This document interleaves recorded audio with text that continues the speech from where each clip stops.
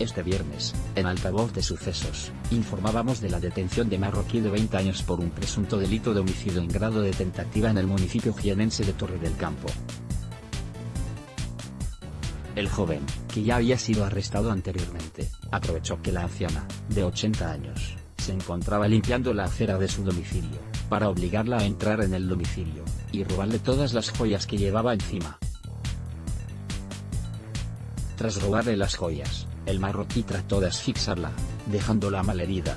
La víctima fue trasladada de urgencia al Hospital Neurotraumatológico de Jaén, donde fue ingresada con pronóstico grave. El joven marroquí, vecino de la localidad de Martos, se convirtió rápidamente en el principal sospechoso. Este terrible suceso ha indignado a la sociedad española. Desde Vox, incluso se ha pedido que el delincuente sea encarcelado en Marruecos. El detenido es un marroquí que ya había sido arrestado anteriormente. Este delincuente debe ser expulsado de España de manera inmediata y ser encarcelado en Marruecos. Son los españoles quienes sufren la violencia importada por la inmigración ilegal, han dicho desde el partido de Santiago Abascal.